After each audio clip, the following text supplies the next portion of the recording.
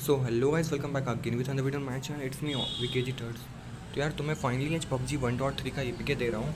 तुम इसे डाउनलोड करो और इंस्टॉलेशन प्रोसेस कैसे करना है, वो सामने पूरा वीडियो में बताया गया है। तो पूरा वीडियो ध्यान से देखना। स्टार्टिंग से लेकर एंड तक वीडियो को पूरा देखना, तुम्हें पूरी की पूरी प्रोसेस पता चल जाएगी। और मैं जो ए इंस्टॉल कर रहा हूँ, ये पबजी वन डॉट थ्री है, जो कि अभी लेटेस्ट आया हुआ है। इसका प्रूफ तो मैं वीडियो के एंड में मिल जाएगा, जहाँ पर मैंने गेम को लॉग इन भी किया है। तो वहाँ पे देख सकते हो। और वहाँ पे सबको पता है, पबजी की एनिवर्सरी का वो नई थीम वाला जो वॉलपेपर है, वो आ चुका है वहाँ पे।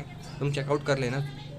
किसी को भी कोई शक हो, सबसे पहले जाके वो एंडिंग सीन देख लो, जहाँ पे मैंने गेम को दिखाया है कि हाँ वो पबजी वन डॉट थ्री है कि नहीं, जो ना बहुत लोग बोलेंगे, भाई, तू कुछ और पकड़ा रहा है और दिखा कुछ और रहा है और देख कुछ और रहा है। ऐसा कुछ बोले कोई इससे पहले। और अभी मैं क्या कर रहा हूँ तो मैं ये बता देता हूँ। मैं पबजी का डेटा फोल्डर और पबजी का ओ फोल्डर दोनों को रीनेम कर रहा हूँ, ताकि जब मैं पबजी को इंस्टॉल कर दूँ, करूँ तो उसे कोई नुकसान ना पहुँचे। ठीक है?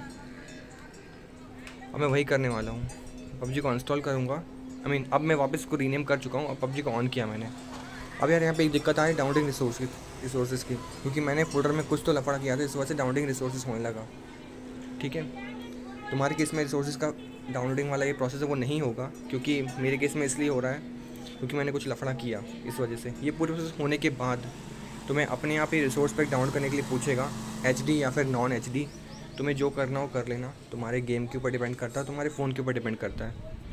तो उसको करने के बाद ऑटोमेटिकली तुम पहुँच जाओगे डायरेक्टली लॉगिन स्क्रीन पे और तुम गेम को लॉगिन कर सकते हो बिना किसी दिक्कत के या इशू के साथ। तो चाहो और लॉगिन करो गेम को और एन्जॉय करो। PUBG one dot three so मिलते हैं पबजी वन डॉट थ्री की कुछ स्पेसिफिक नए वीडियो के साथ।